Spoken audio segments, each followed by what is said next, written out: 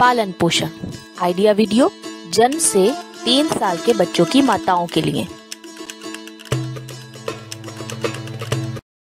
आज की मीटिंग में आई हुई सभी माताओं का हार्दिक स्वागत है। आइए सभी माताएँ बच्चों के साथ इकट्ठा बैठें। चलिए आज की मीटिंग की शुरुआत एक प्यारे गाने से करते हैं। ये गाना होने तक ये वीडियो यहाँ पॉज करते हैं। पिछले हफ़्ते की मीटिंग की शुरुआत हमने एक प्यारे गाने से और एक मज़ेदार खेल से की थी। दिखाए हुए खेलों से बच्चे की बड़ी मांसपेशियाँ, जैसे हाथ और पैर कैसे मज़बूत होते हैं और साथ ही बच्चे का सामाजिक भावनात्मक विकास बेहतर होने में कैसे मदद होती है, ये देखा था। तथा शिशुओं के विकास में संभावित देरी की जल्द पहचान करना, इसके बारे में जानकारी दी थी। आपने वीडियो में दी गई जानकारी समझी होगी तथा दिखाए हुए खेल बच्चों से करवाए होंगे। चलिए इन सभी के अनुभव यहाँ सबके साथ साझा करते हैं। ये गतिविधि होने तक ये वीडियो यहाँ पॉज करते हैं। हमारी इस गतिविधि का नाम है मिलकर कुछ करते हैं। सभी माताओं को रेखा पर खड़ा करें। लीडर माता सुतली या रस्सी से उनके सामने बाधाएँ खड़ी करे। अब सभी माताओं की आँखों पर पट्टी बांधे।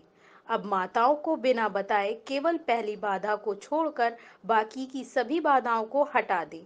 अब उन्हें बाधाओं को पार करके निर्धारित रेखा तक पहुँचने के लिए निर्देश दे। जो माता सही से निर्देशों का पालन करते हुए निर्धारित जगह पर सबसे पहले पहुंचेगी, वह विजेता होगी।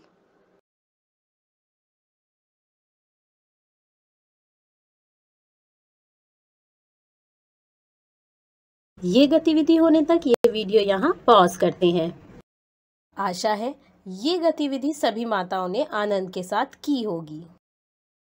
चलिए अब आगे की गतिविधि करते हैं, जिसका नाम है कुछ नया सीखते हैं।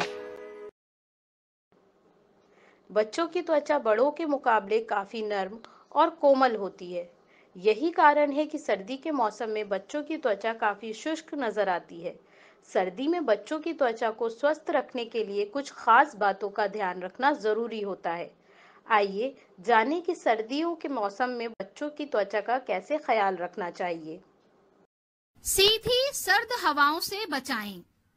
सर्द हवाएँ शुष्क होती है और यह त्वचा को काफ़ी रुखा बना देती है।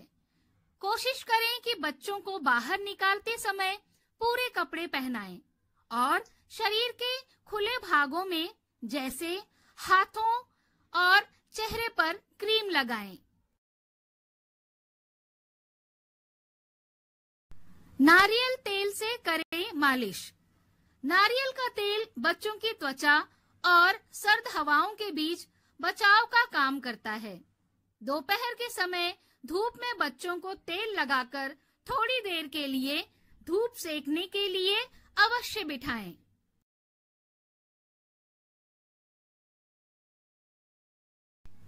पर्याप्त पानी पिलाएँ।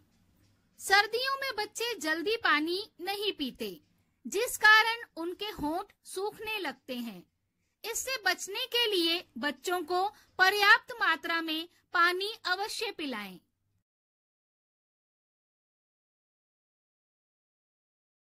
बच्चे को नहलाने के बजाय स्पंज बाथ दें।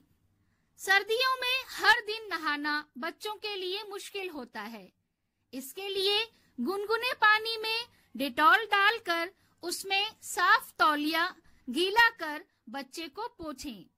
स्पंज बाथ के बाद बच्चों को अच्छी तरह से तैयार कर दें। स्पंज बाथ देते हुए कमरे का दरवाज़ा बंद रखें ताकि उसे हवा न लग सके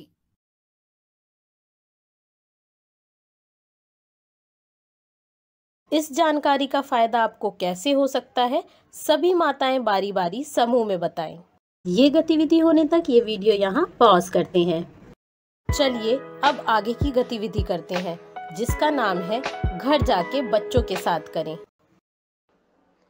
आइए, सभी माताएँ बच्चों के साथ इकट्ठा बैठे, इन खेलों को देखें और समझें। दिए गए खेलों से बच्चे की आहिस्ता आहिस्ता लिखने की तैयारी होने लगती है।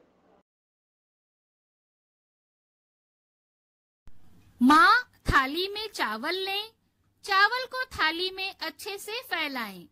बच्चे को थाली में रखे हुए चावलों में उंगली का इस्तेमाल कर हिजी बिज़ी लिखने के लिए प्रेरित करें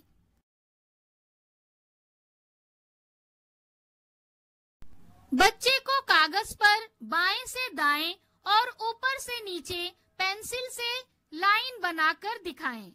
बच्चे को बाएँ से दाएँ और ऊपर से नीचे कहते हुए वैसे ही लाइन बनाने के लिए प्रेरित करें। बच्चे को कागज़ पर पेंसिल से गोल बनाकर दिखाएँ और हमने गोल बनाया, ये बताएँ। बच्चे को वैसे ही करने के लिए प्रेरित करें। ये गतिविधि होने तक ये वीडियो यहाँ पॉज करते हैं। अगले सप्ताह की मीटिंग तक ये खेल अपने बच्चों के साथ कुछ समय निकालकर ज़रूर खेलें। खेल खेलते समय आए हुए अनुभव हमें ज़रूर बताएँ। आज की गतिविधि यहाँ पर समाप्त हो रही है। ऐसी ही और नई जानकारियों और गतिविधियों के साथ अगले हफ़्ते फिर मिलते हैं। तब तक के लिए अपना व बच्चों का ख्याल रखें। धन्यवाद।